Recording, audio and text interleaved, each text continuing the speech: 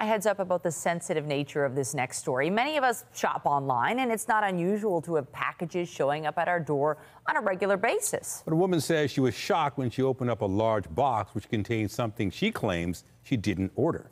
Here's Pat Foran and Consumer Alert. Pat. Nathan and Michelle, the woman from Northern Ontario says she was totally surprised to get a delivery of more than 1,000 condoms. Even though she didn't order them, Amazon said she still had to pay the bill of almost $700. This is the box that we received.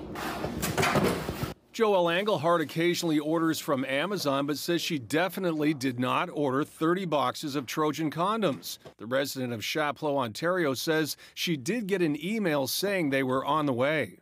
We um, automatically assume that the email was a scam um, because it's it's not anything remotely near what we would purchase or what we would need. When the package arrived, Engelhardt's husband was in the hospital recovering from an illness, and she says they have no idea why the box containing over 1,000 of them showed up we really can't understand what exactly took place um, and, and why we received the package at our house. They became more concerned when Amazon billed their credit card $670.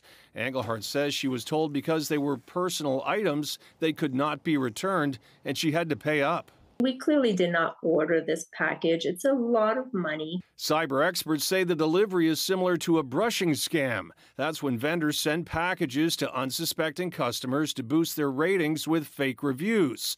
In this case, Engelhardt was charged, which means her account may have been hacked. There's definitely a rise in the incidence of these types of fraud. If you receive an unwanted package, notify the retailer, attempt to identify the sender, check your account for recent orders, change your account passwords, and protect your identity. Engelhardt had been trying to get a refund for the past four months when CTV News contacted Amazon. A spokesperson said, It's our commitment to make things right for customers and to hold bad actors accountable. Amazon secured the customer's account and their money has been returned. Engelhardt was relieved to get her $670 back. Thank you, CTV. We love you guys. She was also told she could keep the items, though she's not sure what she'll do with them but I would perhaps try to advertise that I have selling condoms at a discounted price.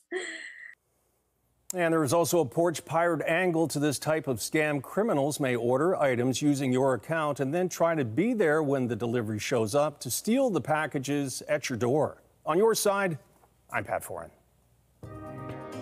If you have a consumer story idea, email us at alert at ctv.ca.